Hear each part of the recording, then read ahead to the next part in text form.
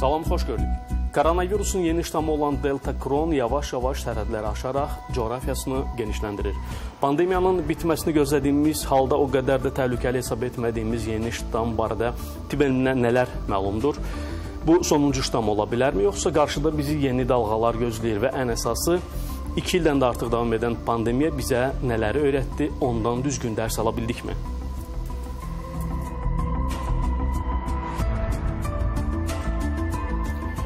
Mövzunu studiyamızın qonaqları Tibb üzrə fəlsəfə doktoru Vasif İsmayıl, e, iqtisad elmləri doktoru professor Zahid Məmmədovla ətraflı müzakirə edəcəyik.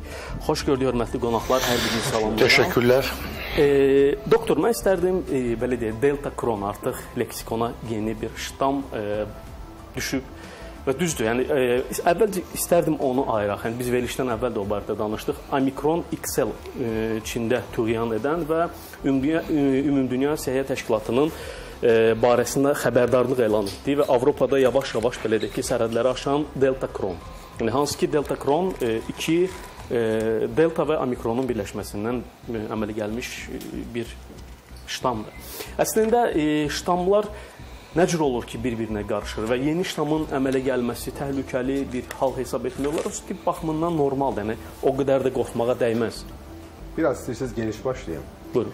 Bax, siz səhər-səhər yataqdan qalxanda, indi deməyə necə qalxırsınız, açırsınız dolabınızı. O gün işə gedirsiniz, gəzməyə gedirsiniz, nə işiniz varsa, pencək geyinirsiniz, köynək geyinirsiniz, bu şalvarı geyinirsiniz, o şalvarı geyinirsiniz, o bir ayaqqabını geyinirsiniz. Yəni siz yenə özünüzdə özünüz olmağa davam edirsiniz. Amma qiyafəniz dəyişir. Qiyafə dəyişir. Qiyafə dəyişir. Ştam qiyafədir. Aha. İndi delta kron nədir? Yəni deltanın qiyafəsindən götürüb, belə bir ki, bir onun papağını götürüb, bir də ayağına məsələn idman ayaqqabısı geyinib götürək. Yəni bax bu dərəcədə e, omikronla deltanın e, birləşməsidir. E, amma onu söyləyim ki, bu e, bu təbii hadisədir. Bu hər zaman baş verir. Bu təkcə viruslarda deyil, insan özünə də baş verir.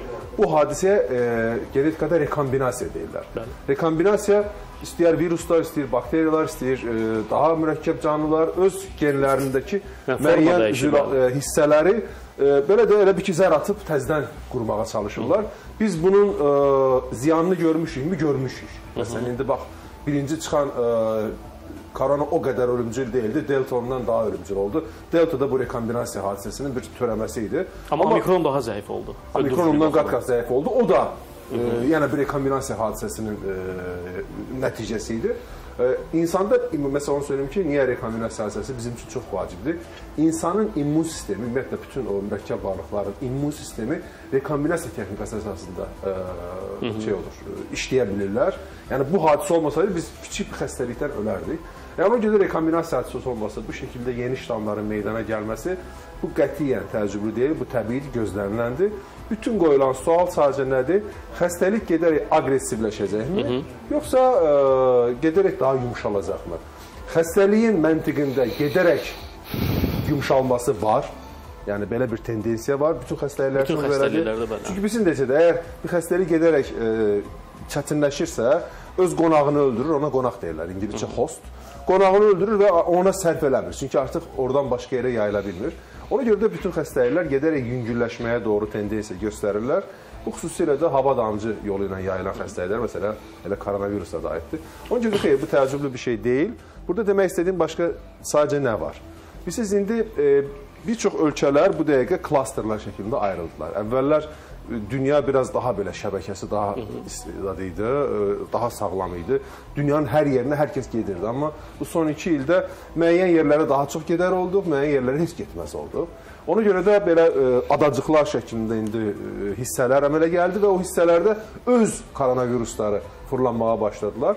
Ona görə də bir sual ortaya çıxır ki, görəsən kimin koronavirusu daha ağır basacaq. daha e, güclüdür. Da, e, amma Daha o çox baxım- yayılacaq. Daha Burada- çox yayılacaq. Yəni o baxımdan, yəni Delta Kron və Omikron XL bunları ayırmaq lazımdır yoxsa əslində belə deyək ki, bunlar ayrı-ayrıdır. Ayrı-ayrıdır. Ayrı-ayrıdır. Yəni biri idman paltarındadır, o birisi isə pencəkdədir. Təncəkdir, aydındır. Maraqlı müqayisədir. E, amma Zaydman, e, İqtisadiyyat e, belə deyək ki, yəni sadəcə bir elm deyil, yəni o istənilən bir proseslərə reaksiya verir. Biz pandemiya e, ərəfəsində də gördük. Düzdür, bunun birbaşa təsirləri, amma psixoloji təsirlər deyilən bir məqam da var iqtisadiyyatda. O baxımdan mən istərdim e, yeni ştamlarla bağlı artıq xəbərdarlıq e, olunub, hansı ki biz gözləyirdik ki, pandemiya bitəcək.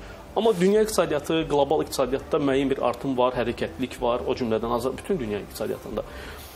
Artıq müəyyən bir immunitet varmı e, e, qlobal iqtisadiyyatda bu cür xəbərlərə qarşı, yoxsa psixoloji olaraq yenə də ağrılı reaksiya verir? Təcrübə təşəkkür edirəm. Covid-19 göstərdi ki, iqtisadiyyata bundan öncə e, təsir edən maliyyə böhranları Hı -hı. və maliyyə böhranları çərçivəsində ona yönəlik reseptlər mövcud idi çox yaxşı qarşılayırdılar. Çünki dəyişik ölkələrdə baş verən maliyyə böhranlarının başqa ölkələrdə baş verdikdən sonra onun uyğulanması üçün reseptlər mövcud idi. Düsturu var idi. Hə, düsturu var idi. E, baxmayaraq o reseptlər bəzi ölkələrdə daha ağırlı keçirilirdi. Amma buna baxmayaraq var idi və bunun iqtisadi nöqteyi nəzərdən doktorları mövcud idi. Və proqnozlaşdırılır. Proqnozlaşdırır, bəli. bəli Amma indiki pandemiya ortaya çıxanda ortaya çıxdı ki, iqtisadiyyat elmi buna yönəlik hazır deyil. Hətta aparılan tədqiqatlar göstərir ki, milyardlarla vəsaitlər tədqiqatlara, iqtisadi tədqiqatlara yönəldiyi halda pandemiya infeksiya xəstəliklər, yəni o çərçivədə yəni. heç maraqlı deyilmiş iqtisadi qurumlara. Və e, ortaya çıxdı ki, infeksion xəstəliklərin də iqtisadiyyata çox böyük təsiri var. Biz sadəcə COVID-dən danışırıq. E, malariya olsun, tuberkuloz kimi xəstəliklər e, deməli geri qalmış ölkələrdə mövcud olan və bu yeni bir e, parazigma ortaya çıxdı. Bundan öncə bizə elə gəlirdi ki, iqtisadi cəhətdən inkişaf etmiş ölkələrin səhiyyə sistemi də güclüdür. Bəli. Ortaya çıxdı elə deyilmiş. Və onlar sığortalanır. Hətta Bəli. Amerika, İtaliya kimi, İspaniya kimi, hətta Avropa sənədləri bir-birinə qarşı Avropa İttifaqı qardaşlıq dediyimiz bir-birinə sənədlər bağladılar. Yəni e, baxmayaraq ki, Şengen vizası çərçivəsində onlar sənədləri aradan götürmüşlər, bəli. Ondan sonra miqrasiya böyük problemlər yaşandı. Hətta bu bugünkü ərzaq qiymətlərinin artımı bu pandemiya əsasında miqrasiya qoyulan qadağaların əksər nəticəsidir. Məsələn, müəyyən e, ölkələr vardı ki, orada kənd təsərrüfatı məhsullarının istehsalı dövründə miqrasiyada, e, yəni ucuz işçi qüvvəsindən istifadə olunurdu və ucuz işçi qüvvəsindən istifadə edilməyincə o o ölkələrdə bahalı işçi qüvvəsindən istifadə edilməsi nəticəsində ərzaq qiymətlərinin artımına böyük təsir göstərmişdir. Bundan öncə e, çox gözəl ifadə etdiniz psixoloji amillər. Zaten Bəli. bundan öncə psixoloji amillər vardı. Məsələn, hər hansı bir tutaq ki, ə, Fars körfəzinə hər hansı bir ə, silahlı qüvvələrin daxil olması kimi keçli ifadələr və ya kimsənin ə, diletant şirkəsinə hətta heç bir tədqiqat aparmadan ifadə etməsi ki, ə, milli pul vahidi tutaq ki, qiymətliyinə təsir edə bilər bu, bu amillər. Burada daha çox fundamental amillər deyil, psixoloji amillər təsir edirdi. Və Milton Kagan 1960-cı illərdə iqtisadiyyatda psixoloji amil deyə bir tədqiqat iş aparmışdı. Onu ciddiyə qəbul etməmişlər ki, iqtisadiyyatda psixoloji amilin nə təsiri ola bilər və təcrübə göstərdi ki, bəli. Birbaşa təsir. Və ə, bu nəyə göstərdi? Mən sözünüzə bir əlavə eləyim. Bu gün ən yaxşı psixologiya təhsili iqtisadiyyat universitetlərində verilir. Hətta maraqlı. mən məsələn ə, e, psixologiya haqqında mühazirə dinləmək istəyəndə gedib Stanfordun psixologiya kafedrasının o birisini dinləmirəm. Mütləq bir iqtisadiyyat, iqtisadiyyat universitetini tapıram, onların psixologiyasını. Orada daha güclüdür. Bəli, orada daha güclüdür. Amma ə, e, bizdə buna yönəlik hələ ki ixtisaslar yoxdur. İqtisadi Hı -hı. psixologiya, səhiyyə iqtisadiyyatı, Halbuki bu çağırışlardan sonra, pandemiyadan sonra bu ixtisaslar çox geniş yayılmışdı. Yəni səhiyyə iqtisadiyyatı ilə bağlı efirdən əvvəl danışdıq. Əslində maraqlıdır. Yəni o mütləqdirmi? Artıq pandemiya göstərdi ki, yəni bu olmadan e, pandemiya nə göstərdi? Bir insanın e, e, xəstəliyi bütün qlobal iqtisadiyyata təsir edə bilirmiş. Bəli. Amma ayrı-ayrılıqda bir şirkətin iflası heç o boyda təsir biz zəncir var, reaksiya doğru mu? Bəli, amma biz gördük Covid sırasında bir insanın xəstəliyi bütün planetin xəstəliyinə yol açır. Hı -hı. Hətta bir-birinin əlaqəsi olmayanlar. Hətta bizə gəlirdi ki, adaların birində gizlənsən, o adalarda xəstəlik tutmayacaqdır. Amma ortaya çıxdı ki, 190 ölkənin hamısında o xəstəliklər baş verdi. Giriş çıxış olmayan hətta adalara belə bəli, düşdü, bəli. Və ona görə də səhiyyə iqtisadiyyatının müasir dövrdə öyrənilməsi, Hı -hı. tip və iqtisadiyyat arasında sintez, bərabər iqtisadi əlaqələrin e, tədqiqatların aparılması vacib çağırışlardan biridir. Hı -hı. Aydındır. Amma doktor, e, mən e, belə deyək ki, sırf e, səhiyyə ilə bağlı olan məqamlara sizə yönləndirəcəm sualları, amma Bu e, Delta Kronla bağlı təbii ki, Azərbaycan cəmiyyətində, mətbuatda, sosial şəbəkələrdə artıq müəyyən qədər narahatlıq doğurub. Yəni bu nədir? E, nə qədər e, öldürücü ola bilər? Əslində bitmişdi, düzdür. Biz bundan əvvəl danışdıq, o qiyafəni dəyişə-dəyişə gedəcək, mahiyyət olaraq qalıb koronavirus olaraq. Amma e, mart ayında əslində mən e, mart ayı bilirdim. E, sonra məlum oldu ki, əslində fevral e, yanvar ayından Fr Fransada aşkar olunub ilk dəfə olaraq. Yəni bu günə kimi Azərbaycanda aşkar olunmasına bağlı hər hansı bir məlumat varmı? Ümumiyyətlə tibb elmi konkret o ştamla bağlı nələri bilir və bizim öncədən vurduğumuz e, peyvəndlər həmin ştama qarşı belə deyim keçərlidir. Artıq yəni bəllidir yoxsa yenə də açılmamış bir sandıq kimi qalır bizə? Yox, bilinir nə olacaq, amma Hı. bilinməyən nə var? Baxın, indi mən dedim axı, dünya müəyyən klasterlara bölündü. E, ilk dəfə Azərbaycana koronavirus İrandan gəlmişdi. Bu gün biz İranla sərhədlərimizi çox ciddi şəkildə bağlamışıq. Düzdür, İranla quru yolumuzu açdıq Naxçıvana görə. Bu müəyyən bir risk daşıyır yenə də. Çünki orada düzdür, insanlarımız İrana kəsə bilməyəcəklər. Amma İran üzərindən Naxçıvana gedəcəklər. Bəli. Bu da oradakı o İrandakı gömrük və ya sə, ə, e, sərhəd xidmətinin əməkdaşları ilə təmas, təmas deməkdir. O cəhətdən risk var, amma ə, e, ondan sonraki bütün ə, e, dalğalar bizə ə, Türkiyədən və ya Rusiyadan gəldi. Yəni biz Türkiyə və Rusiyanın olduğu klasterdəyik.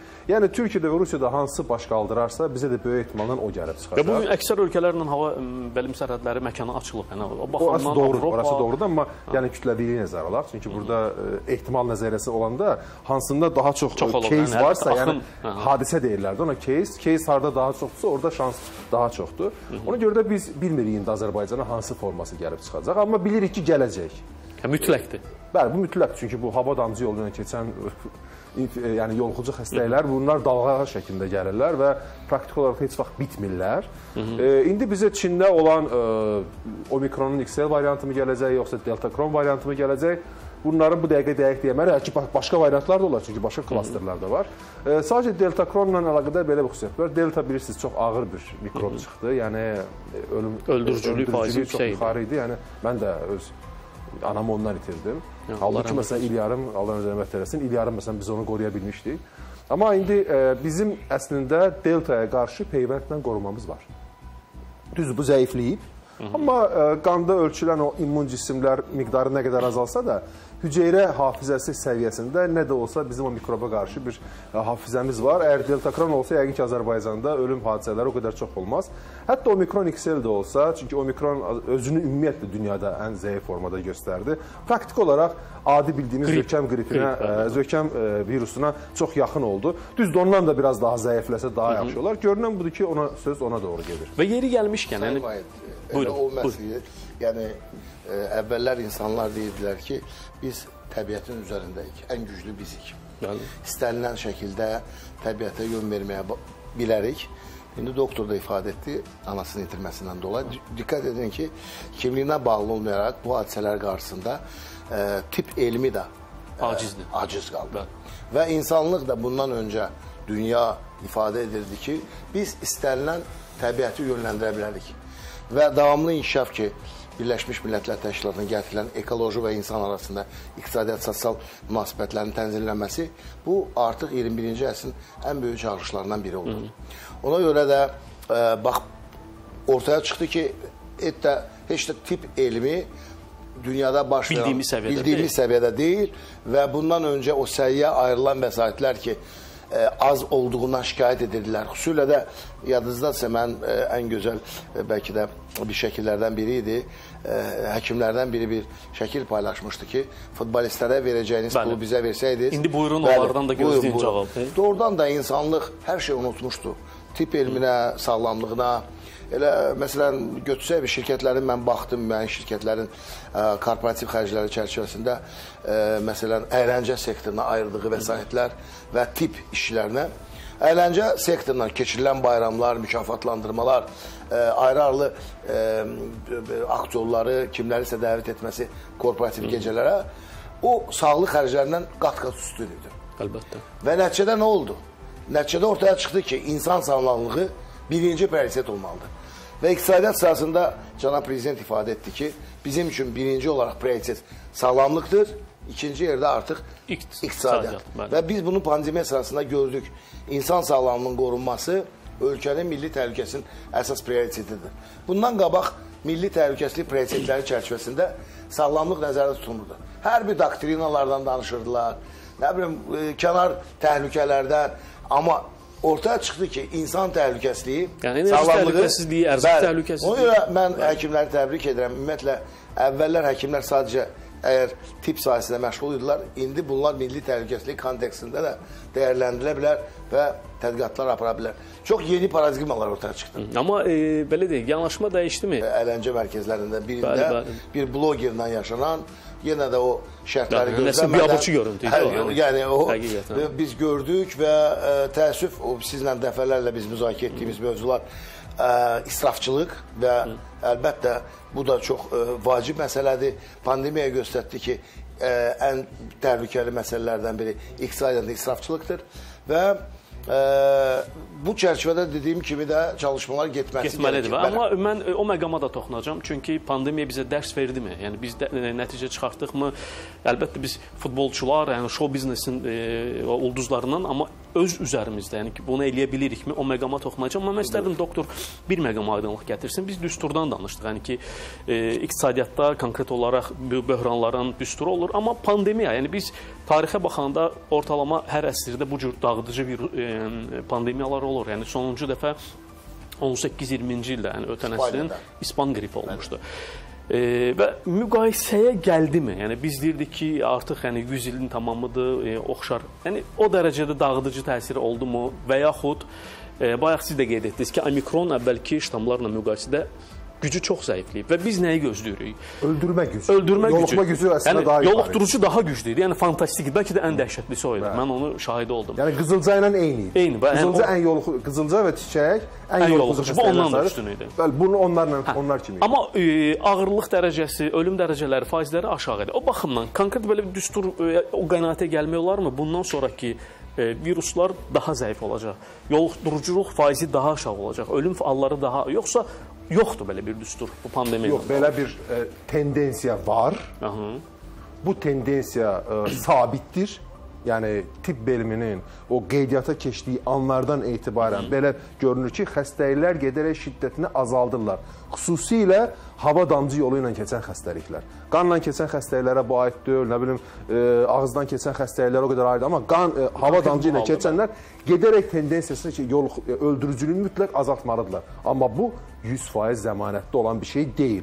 Arada sırada yenə də belə Yəni sürpriz ola bilər. Məsələn də İspan qripi deyirlər. İndi əslində o vaxt dünyanın hər yerində var idi. Sadəcə dünyada e, müharibə var idi və e, heç kəs bunun haqqında yazmırdı. Bir dənə İspaniyada qəzet yazdı. Ona görə bunun adına İspan qripi deyirlər. Və Azərbaycanda da çox xeyli bir insan ölümünə səbəb olmuşdu. Demək miqyası müqayisə eləyəndə mən o miqyasın müqayisəsini aparmışam özüm. Çünki mənim özüm üçün çox maraqlı idi. E, yəni biz indi 100 il keçdi aralarında. Bu 100 ildə biz təbabətdə ciddi bir yerə gəlmişikmi? Sizə söyləyim, baxın, şəkər xəstəliyi müalicəsində çox ciddi yerlərə gəlmişik. Xərçəngdə çox ciddi yerlərə gəlmişik. Nə mədə xorasında çox ciddi yerlərə gəlmişik. Yoluxucu xəstəliklərə qədər ciddi yerə gəlməmişik. Yəni düzdür, o vaxt verilən 50 milyon rəqəmi sadəcə mədəni dünya üçün aid idi, hansında ki, mədəni dünya maraqlanırdı. İndiki bütün dünyaya aiddir. Amma yenə də dünya üzərindəki ölüm sayısı və xəstəlik sayısı xüsusilə iqtisadi nəticələri çox belə e, çox ağır oldu Ağır yəni. oldu, Və hələ bir şey var, hələ yolu bitirməmişik. Bitirməmişik elə o da ə, maraqlıdır. Hələ O pandemiya əsasında Vahid müəllim nə ortaya çıxartdı? Bəzi ölkələrdə və bəzi şəhərlərdə ciddi problemlər olduğunu çıxartdı. Məsələn bu ə, elan olunanda bu 2 saatlıq iş rejimi ilə əlaqədar 2 saatlıq bəzi şəhərlərdə ə, asılı vəziyyətdə, yəni o, o şəhərdən məsələn kənd təsərrüfatı məhsulları asılı vəziyyətdə olan şəhərlər vardı. Bax bu da yeni çağırışlar qoydu ki, mütləq və mütləq hər bir şəhər minimal ehtiyacların qarşılanmasını e, e, Təmin etməlidir. Məsələn, Şanxayda da o problem yaşanır. Arda Şanxayda Şanxayda bəli. Məsələn, e, bax burada da indi aktualdır, bəlkə bizim üçün ərzaq təhlükəsizliyi kontekstində də e, məsələn Moskva vilayəti və Moskva. Moskva bütünlüklə e, ərzaq ehtiyacını Moskva vilayətindən qarşılayır. Vaxtilə Bakı müəyyən ehtiyaclarını Bakı kəndlərindən qarşılayırdı. Və biz nə gördük pandemiyada? Kəndlərdən, rayonlardan Bakıya gələ bilmirdilər. Bəli. Zəncir qırılmışdı. Zəngin qırılmışdı. Amma biz bu problemi həlli üçün nə etməliyik? Bakı kəndlərindən Bakı arasındakı o ərzaq zəngirini təmin etməliyik. Bax bu yeni çağırışdır və bunun üzərində işləməmiz gərəkir. Mütləq və mütləq. Apteklər olsun. Məsələn adamı tuturlar. Niyə gəlmisən? Deyir bizim kənddə, bizim qəsəbədə aptek, Aptek yoxdur. yoxdur, bəli. Bir anlıq bələdiyyələr həmin yerlərə apteklərin açılmasını təsir etməlidir. Məsələn, e, Türkiyəni götürsək, Türkiyədə poliklinikalarla, dövlətinlə bərabər eyni zamanda e, səhiyyə evləri var. Tip evləri. Yəni mütləq bütün qəsəbələrdə, kəndlərdə tip evləri olmalıdır. İnsan sağlamlığının təminatına əlaqədar ciddi işlər Yəni belə deyək, pandemiya zəif nöqtələri üzə çıxartdı. Hər şey Bütün zəif nöqtələri. Hər şey çıxartdı ortaya. Amma Çox şeylər çıxartdı. mən Bəli. istərdim müqayisə eləyək. Biz e, pandemiyanı, yəni ki, e, İspan qripi ilə indikini koronavirusu müqayisə elədik, amma iqtisadiyyatımız dünya iqtisad, e, qlobal iqtisadiyyat dağıdıcı təsirlərə məruz qaldı və e, bu böhranın başqa bir Ortaya növüdür. çıxdı ki, qlobal maliyyə böhranı daha təhlükəlidir. elə mən müqayisə etmək istərdim. Mən 2008-in qlobal maliyyə böhranı yoxsa bəli, bəli. bəli. Yoxsa e, belə deyək, e, 1930-cu illərin dərin depressiyası. Hansını müqayisə eləmək daha doğru? Qlobal maliyyə böhranından uduşlu ölkələr çıxırdı. Aha. Məsələn, bir ölkədə qlobal maliyyə böhranıdır. O maliyyə böhranı ölkənin iqtisadi problemlərinin həlli ilə əlaqədar başqa ölkələrdən ə, məsələn maliyyə ə, ehtiyacları qarşılanırdı. Məsələn, yüksək faizlə onlar alına bilirdi. Bəli. Və ya o bankların sağlamlaşdırması üçün uzun müddət siz arzu edirdiniz ki, o ölkəyə girəsiniz. Girə bilmirdiniz. Çünki o ölkədə qanun vardı. Milli bankların qorunması haqqında qanun. Siz artıq iflas bir vəziyyətdəsiz. Ölkəni qurtarmaq lazımdır. Çağırış edirsiniz. Buyurun bizi qurtarın. Siz gəlirdiniz ora generallar kimi çox rahatlıqla sizi güllə qarşılayırdılar. Artıq bütün dünyaya bundan öncə resept yazan, iqtisadi cəhətdən güclü olan ölkələr özü xəstələndi. Amerika xəstələndi, Avropa, Birliyi, hamısı özü bunların xəstəliyi bunlardan daha pis oldu. Və nəticədə nələr ortaya çıxdı? Ortaya çıxdı ki, qlobal maliyyə böhranından çox təhlükəli bu xəstəliklər, infeksionoz xəstəliklərdir. Və hətta BMX Valyuta Fondunun araşdırma aparmışlar.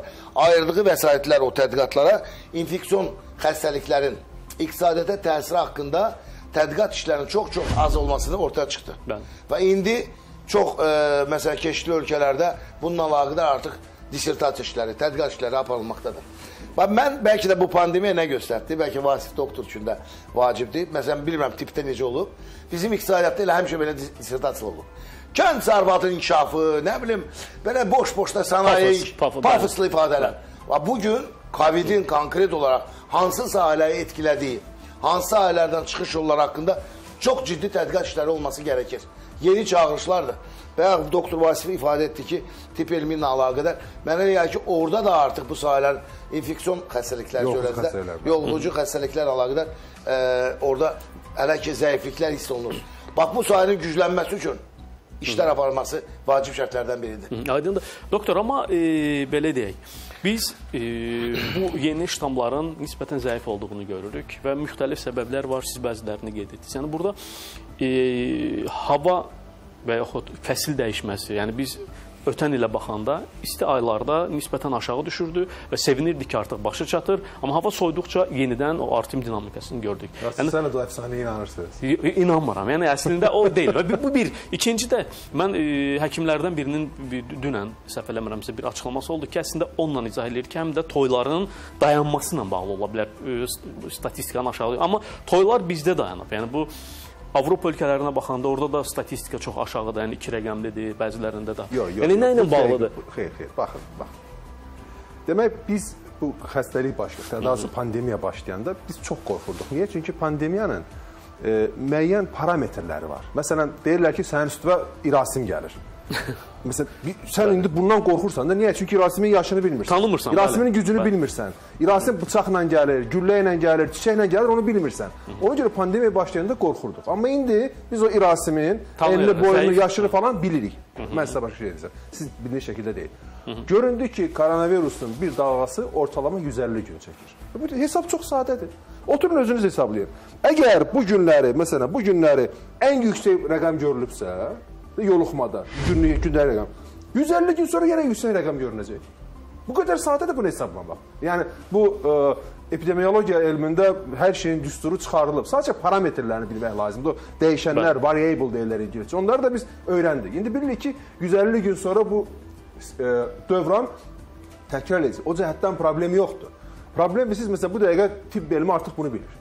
Tibb elmi bu dəqiqə maraqlandıran budur ki, universal peyvənd tapmağa çalışır. Çünki bundan əvvəl tapdığımız peyvəndlər gəldi, gəldi deltada özünü çox yaxşı göstərdi, amma omikronda heç bir şey Tabe yaramadı. olmadı, bəli. Bəli, yaramadı. İndi ona görə təzədən qalxıb omikron üçün heç peyvənd də düzəltmədilər. Halbuki fevral ayının ilk yarısına söz vermişdilər.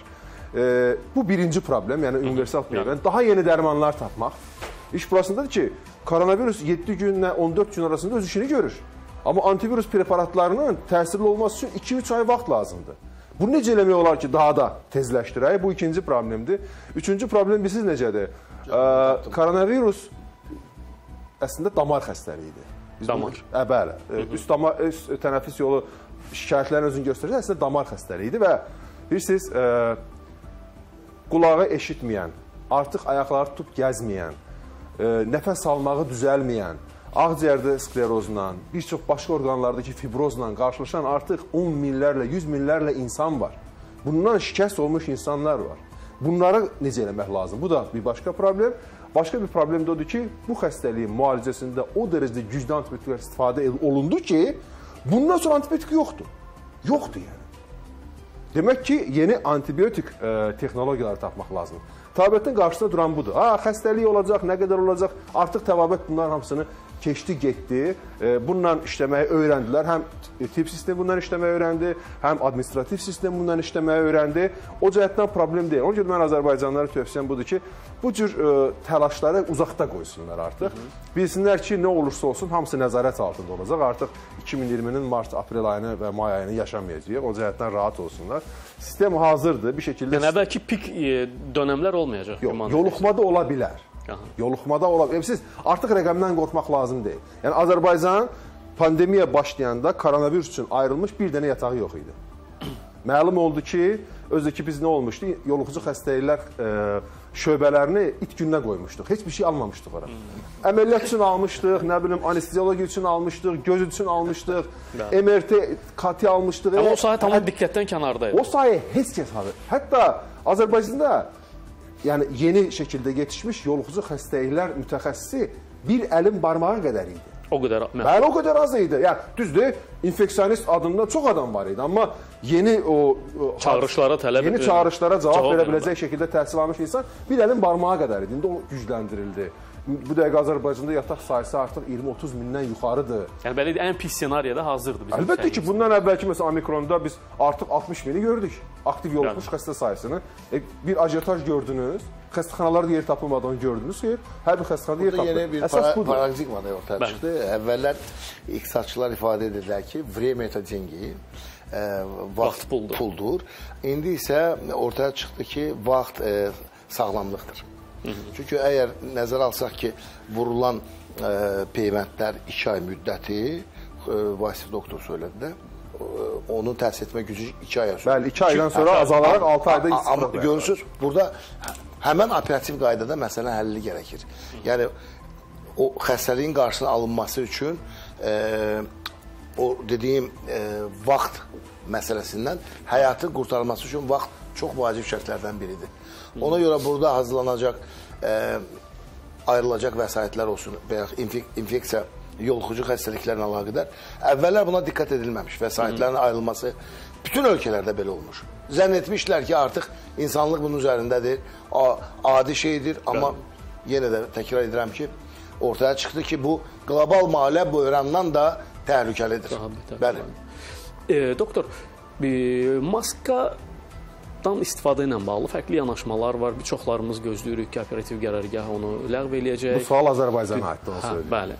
Və e, və misal kimi də göstərilir ki, dünyanın bir çox ölkələrində, şəhərlərində artıq maska qadağası götürülüb. Yəni bir həkim olaraq, yəni həkimlərin də mən fikirlərində bir ziddiyyət görürəm. Bəziləri hesab edir ki, tam olaraq bitənə qədər Ümumdünya Səhiyyə Təşkilatı pandemiya bitdi deyənə qədər taxılmalıdır. Amma bəziləri hesab edir ki, yəni ehtiyac yoxdur, artıq Pandemiya bitməyəcək. Bitməyəcək. Bitməyəcək. Yəni, Yəni şiddətini azaldacaq. endemiya da olmayacaq, yoxsa pandemiya olaraq pandemiya, qalacaq. pandemiya şəklində gedəcək. Yəni pandemiya sözündən qorxmaq lazım deyil. Bu gün influenzanın pandemiyası hələ davam edir. Yəqin ki bir 10-15 min ildir davam edir. Hepatit B-nin pandemiyası davam edir. Hepatit C-nin pandemiyası davam edir. Speed. Vərəmin, AIDS-in, AIDS, bəli. yəni bunların pandemiyası davam edir. Elə pandemiyalar var ki, artıq 40 ildir davam edir. Elə pandemiyalar var ki, 10 min, 15 min ildir davam edir. Ona görə pandemiya sözündən qorxmayın. Pandemiya davam edəcək. Sadəcə olaraq Yəni virus bizlə əbədi olaraq qalacaq. virus Qrip- qalacaq. qrip Bəli, artıq bəlli oldu, qalacaq. E, zaten Çinə qarşı olan o hiddətin e, səbəblərindən birisi budur ki, bizi nəyə ilişdirdin? Çünki bundan əvvəl o 2 dənə qorxulu koronavirusu SARS-la MERS-i qabağını ala bilmişdilər. O viruslar yoxa çıxdı. Amma bunun qarşısı alınmalı. Bunun qarşısı alınamadı çünki məlumat gec gəlmişdi, minimum 2 ay gec bilinmişdi. Pandemiyadan qorxmasınlar. İndi gələk maska məsələsinə. İndiki bax dövrdə Azərbaycanda istər Bakı şəhərində olsun, istər azad edilmiş regionlar olsun, istər Gəncədə, istərsə də ki, e, Alpoud şəhərində. Bu dəqiqə maska e, epidemiyanın e, şiddətlənməsinin qarşısını almaqda heç bir rola malik deyil. deyil. Bu dəqiqə üçün tibbi cəhətdən heç malik əhəmiyyəti yox. Çünki xəstəlik ə, yoluxmuş insan sayısı və virusun yükü deyirik biz ona. O dərəcədə aşağıdır ki, burada maska artıq o öz ə, o zənciri kəsmə funksiyasını görmür. Yaxşı, indi bax indi mən danışıram artıq Nazirlər Kabinetinin yerinə. Yəqin ki, onların belə də o cildinə girirəm və beyninin içinə girirəm. Niyə Azərbaycan ilə maska ilə əlaqədar digər ölkələrdə olan ə, Qadağa götürülmür. Qadağa götürülmür. Bir şey necədir? Bu administrativ qərardır. İndi elə ölkələr var ki, orada ə, biraz populizm eləyə bilərlər və ya xalqın rəyində o biraz azalmanı məsələn indi düşünün də Fransa götürmək istəyir əlbəttə niyə? Çünki prezident seçkiləridir. Bəli. Cəmaatın xoşuna gəlsin deyə. Başa düşürsüz? Almaniya istəyər müəyyən başqa səbəblərdən. Və Britaniya çünki Boris Johnson özü belə deyim ki, o tələbləri pozmuşdu ona görə. Yəni, Bəli, bəli, o məsələlər var. Hələ onun toyuna gəldiyi üçün də məmur da istefa eləmə məcburunda qaldı. İndi Azərbaycanda bu dəqiqə tamamilə administrativ qayda olaraq qalır. Amma mən niyə buna etiraz eləmirəm? Çünki qardaş, hələ biz ə, indiki başlayacaq dalğanın üzərindən hopp eləməmişik. Bəli, arxa Bu hardasa may, iyun aylarında bəlli olacaq ki, bizdə hansı rəqəmlər olacaq, hansı ştam olacaq, nə qədər yoluxucuq olacaq, nə qədər ə, öldürücülük olacaq. Onu biləndən sonra baxsaq ki, hə, gəldi yenə də İrasim belə də çox zəif çıxdı. İrasimin öhdəsindən gələcək, indi Rasimlər inciməsinlər. Sadəcə bir artıq ə, Mehmet çevrilib deyə söyləyirəm. O zaman bəlkə də maskanı artıq qaldırarlar. Məsələn, omikron dalğası davam eləyəndə hamamları açdılar. Niyə? Baxdılar ki, omikron o qədər böyük problem deyil. və heç bir fəsadı da olmadı. Bəli, bir fəsad da olmadı. Yəni hamamların zaten nə fəsadı var idi? Mən Əlbəttə. Hamamlardan hamamlardan söz düşmüşkən bu gigiyena qaydaları əslində e, mən xatırlayıram hətta doktorla bununla bağlı bir e, verilişimizdə bir şey var. olmuşdu. Su və isti olan yerdə virus daha çox yaşayır. O vacibdir. su və isti olan, əlbəttə hava damcı yolu məsələsi var. E, belə deyək, yəni ki, bunun mənfi tərəfləri əlbəttə çoxdur. İnsanlar Yəni, hamam sağlamlıqdır. bizisi Ha, çox böyük bundan etkiləndi. Etkilən- Məsələn, etkilən- Hətta- əlbəttə, çox, çox Və ciddi. Hətta, hətta hamamda çalışan professional əməkdaşlar vardı. Ee, Amma bu başqa edə Evet. biləcəyi başqa bir Amma- məsələ. Amma itirdilər. İtirdilər. Mən, yəni özüm bu işdən e, bir şey eləmişdim, araşdırma aparmışdım. Ya kisəçilər belə itirdi ya. Mənlə Kisəçi artıq yoxdular. O kisəçi oldu inşaatçı. Artıq sənətin dəyişdi. Ya da ə, yemək ə, motosikl alıb özünə yemək daşıyır. Kuryer şirkəti. Kuryer oldular. Çox ciddi dəyişikliklər oldu. Amma belə deyək. Halbuki o insanlar 30 il 20 il yetişdirirdiler. Əlbəttə. E, belə deyək, o pandemiyanın də- bizə öyrətdiyi, e, turizmə ona Yox, toxunacağıq. mən o onu deyirəm. Hamam biznes Azərbaycanda hamama ə, təsir edən yaxşı müsbət cəhətdən turizm böyük axını vardı. Azərbaycan hamamlarının fərqli özəllikləri, məsələn, o olmasın, bu olsun kinosunda da yansıtması. Hı, səhnəsi. Azərbaycan hamamı çox fərqlidir. Xarici ölkələrdə belə şeylər bulmaq biraz fərqli. Azərbaycanda bax bu ə, Əlbəttə, o baxımdan təsiri oldu. bəli. Amma mən istərdim nə idi? Yəni ki, bizi bu e, pandemiyanın bir müsbət tərəfləri də təbii ki, olmamış deyil. Yəni bu e, doktorla əlbəttə. xatırlayıram bizim söhbətim. Ən azından əl yumaq, düzgün, yəni gigiyena qayda.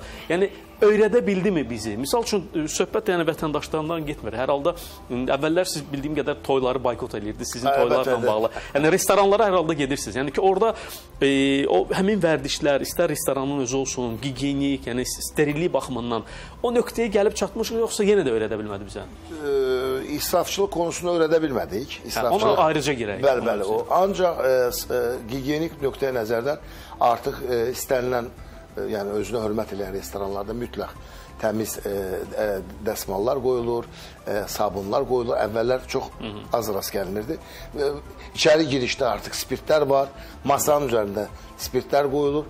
Yəni bu məsələ artıq dəyişdi və ə, bu olmazsa insanlar bəlkə də artıq bunun bir e, çatışmayan bir şey kimi hiss edə bilər. Dəyişdi, dəyişdi. Çox ciddi dəyişikliklər var. Bəs insanlar necə? Yəni gigiyenik qaydaları yəni özündə əks etdirə bildi, yəni ki, qəbul eləyə bildimi, yoxsa yenə də vacib təhlükəli vaxtda istifadə elədi, amma dönəm bitdi. Siz e, çox vaxt insanlar və filosoflar min illərdir dünyanın mənasını axtarırlar. Bu dünyada ən vacib qanun və düstur nədir? Onu axtarırlar. Mənim fikrimcə dünyada ən vacib düstur Qaus qanunudur. Qaus əyrisi. Qaus əyrisinə əsasən istənilən əlamətin cəmiyyətdə bölünməsinə baxarsanız, soldakı 4% ilə sağdakı 4% hər zaman e, marginal olacaq və bunlar hər zaman olacaq. Siz əyrini ümumiyyətlə sağa sürüşdürə bilərsiniz, sola sürüşdürə bilərsiniz, amma 4% heç vaxt dəyişməyəcək. Bu nə deməkdir? Siz bir şeyi nə qədər çox təbliğ edirsiniz eləyin, gigiyenaya qətiyyən fikir verməyən insanlar həmişə olacaq. Gigiyenaya hər zaman fikir verən insanlar da Yenə həmişə də, olacaq. Biz nə istəyirik? Təbliğatla bunu gigiyenaya fikir vermək cəhətdən sürüşdürmək istəyirik. Məncə bunda biz qismən başarılı olmuruq. Amma yenə də tam nail ola bilmədik. tam nail ola bilməyəcəyik. Amma e, biz bayaq danışdıq o israfçılıqla bağlı. Və sizin mən belə deyim, e, yəni uzun illər bundan əvvəl də illər- yəni uzun müddətli bununla bağlı sizin əsas belə deyim, ana mövzularından biri olub ki, israfçılıq 30 ilə yaxındır mən bu barədə yazıram, keçli ölkələrdə çıxışlar edirəm. Amma Azərbaycanda e, bu pandemiyadan sonra biz görürük daha da şiddətlənib. Hə, nəyə görə? Mən bir məqama, yəni ki, Bəli, sualı tam bəli, olaraq verim. bəli. E, Pandemiya vaxtı nə oldu? Toylardı, nişanlardı, ad günlərdi, kütləvi tədbirlər qadağan olundu. Yas mərasimləri qadağan olundu. Yas mərasimindən də bağlı ayrıca danışmaq olar, amma sonradan ailə üzvlərinin iştirakı ilə, yəni kiçik bir dəfn mərasiminə icazə verildi. Toylar qadağa var idi, sonra ailə üzvləri ev şəraitində keçirdi və biz e, nə deyirdik? Şükürlər olsun ki, uzun illərdir bizim etmək istədiyimiz e, məqamı belə pandemiya gördü bizim əvəzimizə. Hamı başa düşdü ki, yəni yas mərasimi toy kimi keçməyə bilər və yaxud toylar o cür dəbdəbəli olmaya bilər. Minlər, 10 minlər, 100 minlər xərcləməyində dəyməz. Və sağ. Amma e, artıq toylara icazə var. bəli, Biz yenidən əvvəlki formamızı almışıqmı yoxsa Almışıq, amma nədən almışıq? Çünki e, vətəndaşın seçimi yoxdur. Mən də əvvəl vətəndaşı suçluyurdum bu konuda. Aha. Vətəndaş alternativ evləndirmə dairələri yoxdur. Türkiyədə, elə bir Türkiyədə, Rusiyada, istənilən ölkədə restoranlar, o bizim şadlıq evləri yerində, insanlar istədiyi yerdə, məsələn, çalışdığı məktəbdə, e, Vasif doktor Türkiyədə bilər yəqin klinikalarda çalışan adam öz klinikasında Stalovada, yeməkxanada çox rahatlıqla Bəli, keçirə bilir. Heç utanmır da ən böyük səviyyədə məktəbin e, çalışan müəllim və universitet professoru Bir də evləndirmə sarayları var. sarayları var. Bəli, hər ilçənin evləndirmə evlər sarayı var. Polisin satsal evləri var, lokallar var. Lüks yerlərdə 5 manat, adam başı 5 manat, maksimum deyirəm. 10 keşit yeməkdə nə istəyirsən. Yəni çeşidli seçenəklər var. Çox təəssüf bələdiyyələr bu seçenəkləri ortaya qoya bilmədilər. Biz bu gün bu şadlıq evlərindən, mərasim evlərindən asılı vəziyyətə gəlmişik. Onlar bizə diktə edir ki, 150 manat və biz bunun xaricində bir şey görə bilmirik. Nə etməli? Bələdiyyələrin xarici ölkələrdə özlərinin solistləri var. Sovet dövründə az konsert vardı, az solist vardı. Böyük müğənni deyir mən 15 min manata 4 saata. Xəbəriniz var da Vasif bəy? Necə yəni? Bunu kim ölçdü? Bunu hansı qiymət ölçdü? Bir insan sağlamlığı, yəni bir ay müalicə olunur, gedir, gəlir, indi 15 min ortalama statistik olaraq hesablasaq o qiyməti ala bilmərik. Və ya bir insan aldığı təhsil il ərzində 2000, 3000, 4000 do- manat olsa belə 4 saata bu adam 15 bin manat pul verir. Sadəcə bir müğənni. Dekoru demirəm. Dekor bilirsiniz. O ayrıca xərcdir. 10 min manat. Sonra dekordan sonra yəni s- saylar hesablaya bilərsiniz. fantastik yəni xərc, Fantastik xərclər. Ona görə bunun sorunu nədir? Alternativ qoyacaq. Və bələdiyyələr mütləq bu işlə məşğul olmalıdır. Mərasim evləri. Yenə də o aşlar qaynal ə, bişirilir, gərəksiz israfçılıq, mənasız, mənasız saat 2-də mən anlamıram. Allah rəhmət eləsin. Yəni siz gedib orada oturmaqla, aş yeməklə bir şey mi dəyişir? Bu pulları sağlıq fondlarına verin. Poliklinikalara yönləndirin. Gəl denən ki, poliklinikanın inkişafı üçün verirəm. Biz bu təcrübəni gördük ki, insan sağlamlığı birinci prioritetdir. Məsələn, biz çox ölkələrdə gördük, kəndlərə insanlar üst tutdular, kəndlərdə o insan, poliklinikalar açdılar, tip məntəqələri. Biz bunun üzərində işləməliyik. Yəni daha İnsanlar- çox bu, yəni burada yəni mentalitet üzərinə gəlmir mənə. Mentalitet göstərməliyik, yenə göstərməliyik. Uzun müddətdir ki, pandemiya əsasında özünü göstərə bilməmişdi. Yenə də gündəmdə olmaq istəyir. Mən belə ilk yaxşı ki, hələ bir sənədlər bağlıdır. Xaricdən müğənnilər gətirdilər. Bu qədər israfçılığa gərək varmı? Nədir bu? Belə belə şey olar. demək ki, dəyişmədi bizi, amma Dəyişmədi. E, doktor mən istərdim həm də alternativ, amma bələdiyyə alternativ seçenəklər qoyması gərəkir. Yəni qoysa da müraciət etsin. Yəni biz o mentalitet olaraq Dəyişəcək. Dəyişəcək. Dəyişəcək. Məktəblər açılsın, klinikalar özlərində məsələn keçdi bizim klinikalarda yaxşı salovalar var. Mənə elə gəlir ki, orada imkanlar var. Bəli. Və yaxud da o yas mərasimləri ilə bağlı, yəni mənim şəxsən öz tanıdığım bir insan, yəni doğmasını itirdi və o e, xüsusi bir yas mərasimi vermədi və elan olundu ki, həmin o Vəsait. yas mərasimi ilə bağlı yox, yəni ehsan filan e, qocalar evində yaşlı insanlara paylanılacaq. Yəni bu Bakıda olan bir məsələ, amma o yayılmır. Yenə də ona bəlkə də qəribə baxırlar. Amma mən istərdim o toylarla bağlı, onun tibbi tərəfi də. Yəni burada 10 cür e, soyuq qəlyan altı, 20 cür nə bilim isti kabablar filan, 8 növ balıq. balıq filan. Yəni bir Ördək. insanın yeyə biləcəyi, yəni yəni Sən boş verin. Bax mən e, hardasa 2 həftə mənim demək əməliyyatlarım spesifik əməliyyatlardır da və spesifik əməliyyatlarda sən illərdir, aylardır işlədiyin komanda üzvlərlə işləmək istəyirsən. Bir baxdım tibb bacım yoxdur. Başqa birisi gəlib. O da hardan başa düşdü? Mən tibb bacısının üzünə baxmıram. Əlimi uzadıram, görürəm ki, lazım olan alət gəlmir. O birisi bunu bilirdi. Dedim bizim qız hanı? Dedilər ki, zəhərlənib. Harda? Toyda. Toyda. Bəli. Nədən? Göbələkdən. Bütün ailə, bütün ailə, Kütləvi. uşaqlar daxil. Niyə zəhərlənir bilirsiniz? Çünki o mənim o restoranda işləyən bir e, tanışım vardı. Mənə gəldi və dedi ki, doktor dedi, sən dedi mənə yaxşılıq, mən də sənə yaxşıyam. Heç vaxt dedi qarışdırılan salatları götürmə. Çünki onlar trofey kimi gedir. Yəni stoldan nə qədəri qayıdacaq, onu gözləyib sabah yenə verəcəklər. Təkrar, təkrar, Ya, təkrar. Əlbəttə ki, bu məsələn mən ondan sonra, yəni ömür boyu, yəni bir şey ki qarışdırılıb onu qətiyyən içmərəm. Ya bütöv şeyi al, bütöv pomidor al, bütöv xiyar al, ye. Yəni görürsən ki, bu təzə təzə deyil. Bu cəhətdən bu sağlamlığa çox ciddi ziyan vurur. Yemək məsələsindən deyil, bilirsiniz? O qədər yeyirsən, mənasız yeyirsən. Məsələn, indi bilirsiniz necədir? Baxın, problem başqa bir nədir? Məsələn, birisinin varı halı yerindədir, gətirir kürü qoyur masaya. Bəli. O birisi də kasıbdır da. O da e, o da istəyir ki, ona oxşasın. Qüruru var axı bunun. Bu da gedir süni kürü gətirir. Bəhsə Ha, bəhs, süni bəli. kürünü nə təbdəldiblər? Bu Nədən hardan gətirilib? bəli. Kim gətirib? Heç olmasa mağazada süni kür alanda sən bir şeyin içində qablaşdırmanın içərisində alırsan, üstündə görsən ki, bu kimdir, nəçidir, famil e, şey, telefon nömrəsi nədir, kim cavab verir? Tarix yazılıb yəni. Bəli. Burada hansıdır, nə vaxt keçib, bəlkə vaxtı keçmişləri gətirib sənə toyda yedizdirirlər. Bu cəhətdən çox Amma böyük bir vətəndaşın suçu yoxdur. Vətəndaş onu vermir. Qarşı Bəli. tərəf diktə edir. Bəli, istəyir. Amma bir şey var, ə, professor. Məsələn, mənim də toyum olub da. Mənim toyumda nə qədər adam olardı? Özünü öldürən 60. İşte. Avropa, Mənim altı Avropa övladım var. toyları. Peki icazə verdilərmi?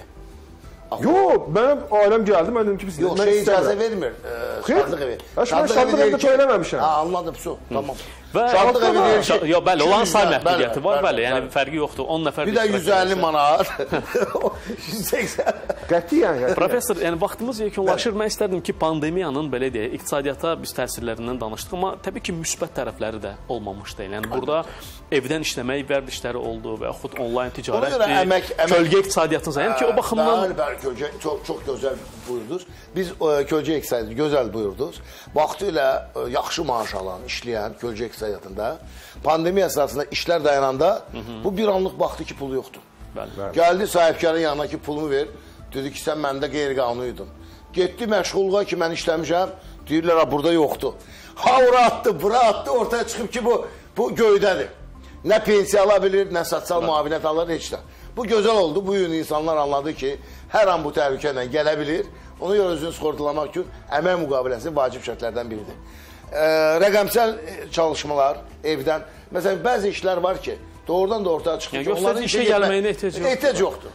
Əlavə kommunal xərclər Ona görə əmək məcəlləsində dəyişiklik olmalıdır. Çünki bəzi qurumlar yenə də o Sui-istifadə 9-dan edirlər. 6 Bəli. səni məcbur edir ki, 9 Halbuki ona ehtiyac yox. İcrada olan, əgər icrada olan sənədlərin icrasının əlaqədə iş yerinə yetiribsə, onun boşuna gedib o kabinetdə oturmasının nə mənası? İşıq istifadə, İşıq elektrik. istifadə, enerji, s. Yəni qarşıda çox şeylər çıxdı və özəlliklə e, təhsildə yeni çağırışlar, səviyyədə, bütün sahələrdə dəyişikliklər oldu. Ən əsas da israfçılığa qarşı mən düşünürəm. Bir də ən əsas öpmək, əvvəllər yazırdı məni öpməyiniz, znaçoklar vardı. Bəli. Bu gün artıq çox adam bir-birini öpmür. Bu da yaxşı bir şeydir. Bəli, bəli. Tamamilə doğrudur. Aydın çox sağ olun, təşəkkür edirəm. Burada da mən istərdim verilişi yekunlaşdıraq. Bir daha xatırladım ki, studiyamızın bugünkü qonaqları tibb üzrə fəlsəfə doktoru Vasif İsmailova, iqtisad elmləri doktoru professor Zahid Məmmədov idi. Salamat qalın.